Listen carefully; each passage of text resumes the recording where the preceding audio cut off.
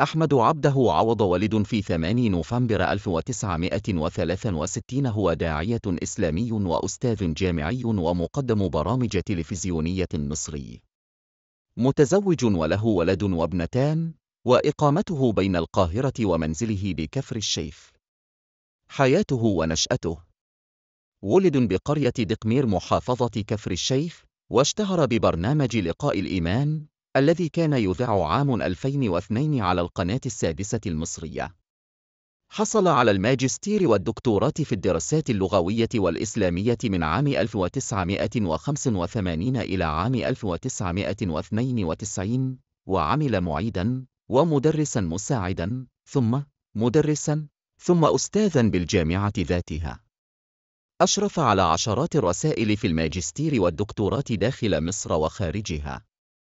عمل أستاذاً بجامعة أم القرى بمكة المكرمة في الفترة من 1995 إلى 2000 وأثناء ذلك كانت له برامج دينية ثانية في إذاعة القرآن الكريم بمكة المكرمة ومشاركات في الصحف السعودية ومحاضرات في نادي مكة الثقافي الأدبي مسيرته.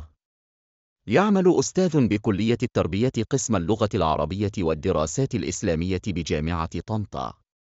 مذيع برامج. برنامج لقاء الإيمان في القناة السادسة على مدى عدة أعوام بدءا من سنة 2002 على الهواء مباشرة. برنامج أسرار وأنوار قناة المحور الفضائية 2004 برنامج فاذكروني أذكركم القناتان الأولى والثانية من 2003 مترا إلى 2004 مترا.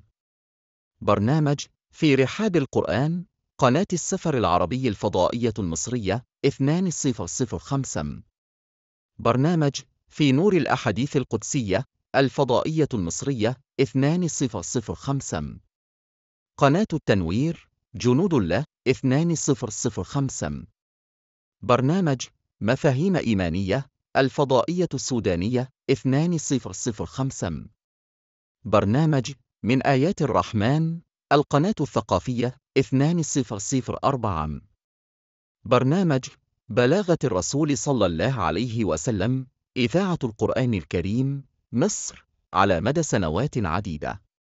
برنامج حديث من القرآن الكريم إذاعة القرآن السعودية.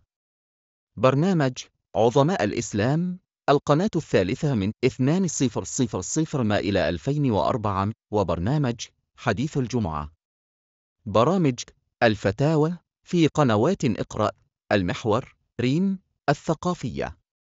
برنامج في نور القرآن الكريم القناة الثانية. برنامج المجلة الإسلامية القناة الأولى. برنامج مع الله وفضفضة إيمانية في قناة الناس. برنامج صباح الإيمان قناة الناس قناة البركة. برنامج مساء الإيمان قناة البركة. برنامج فهل من مذكر قناة الحافظ؟ برنامج ذلك هدي الله قناة النجاح. برنامج فقه المرأة المسلمة القناة الأولى المصرية والثانية. برنامج السابقون إلى الله قناة الشباب الدينية. برنامج دعاء وشفاء قناة الصحة والجمال. برنامج مناجاة قناة الصحة والجمال. برنامج المسابقة القرآنية قناة البدر الفضائية. برنامج كيف بدأ الخلق قناه الفتح الفضائية رمضان 2012 المؤلفات الأدعية الجامعة الأدوية النبوية الجامعة. الصيام علو الهمة واستقامة الأمة. نورانيات سورة التوبة. نورانيات سورة يوسف. العقيدة والسلوك والانفصام بينهما. النقاء والبقاء. حقوق الإنسان بين الإسلام والغرب. خير زاد في صلاح العباد. موسوعة أدب الثناء على الله. الفرج بعد الشدة. التقوى. ولا تيأسوا من روح الله. قضايا البيئة من منظور إسلامي. معالم شهر الصيام. جميع برامج قناة الفتح.